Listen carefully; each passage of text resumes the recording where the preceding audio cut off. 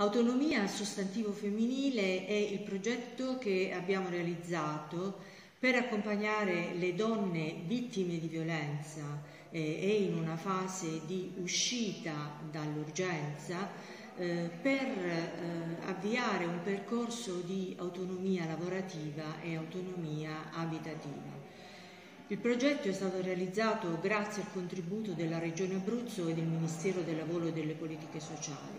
e con la partecipazione all'avviso pubblico per finanziamento di iniziative rivolte a organizzazioni di volontariato, associazioni di promozione sociale e fondazioni relativamente all'articolo 5 del terzo settore e eh, che eh, prevede appunto una durata di un anno eh, rivolto il progetto a donne vittime di violenza eh, residenti nell'area urbana Chieti-Pescara. Il progetto nasce dall'incontro di un gruppo di eh, progettisti e di operatori dell'associazionismo sociale, ma soprattutto dall'incontro con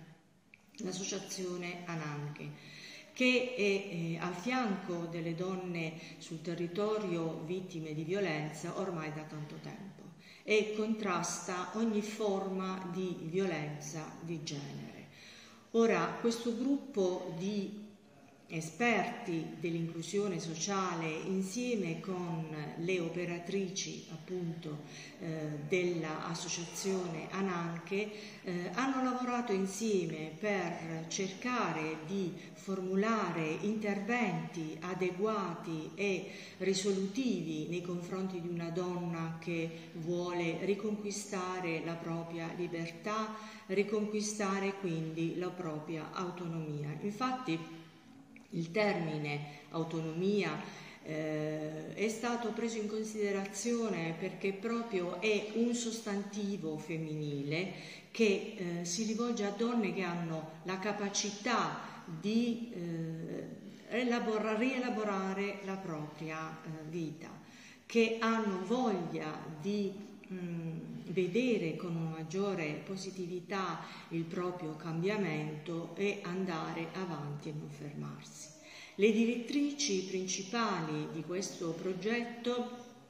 sono quindi da un lato l'autonomia eh, lavorativa, come dicevo, e l'autonomia abitativa dall'altra. Come si svolgono? Per l'autonomia lavorativa abbiamo previsto interventi che vadano a ehm, rielaborare, a eh, mettere nuovamente in evidenza quelle che sono le risorse personali e professionali delle donne e dall'altro interventi di orientamento, formazione e accompagnamento al mercato del lavoro.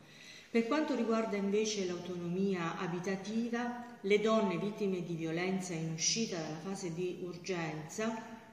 saranno accompagnate da esperti del mercato immobiliare per la ricerca di alloggi sicuri, di alloggi adeguati e a costi accessibili per poter offrire mm, a queste donne l'opportunità di avere un luogo sicuro non solo per sé ma anche per i propri figli. Partner e collaboratori di questo progetto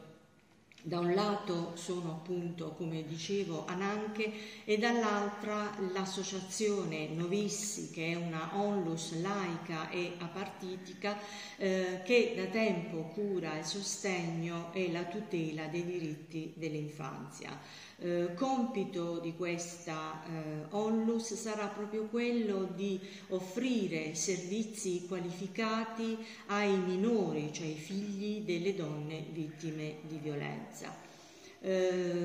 una cosa importante da eh, considerare è il rafforzamento del lavoro di rete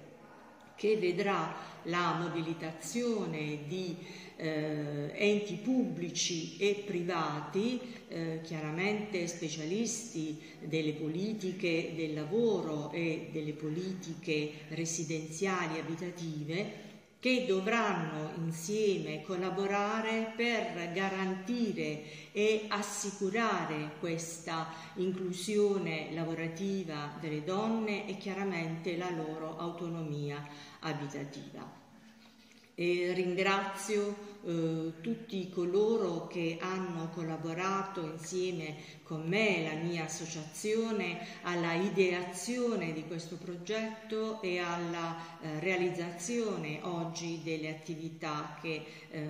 saranno poste in essere. E voglio ringraziare anche il, la passione e eh, l'interesse che i, i funzionari della regione Abruzzo hanno avuto per queste tematiche sociali così importanti e per favorire quindi gli enti del terzo settore.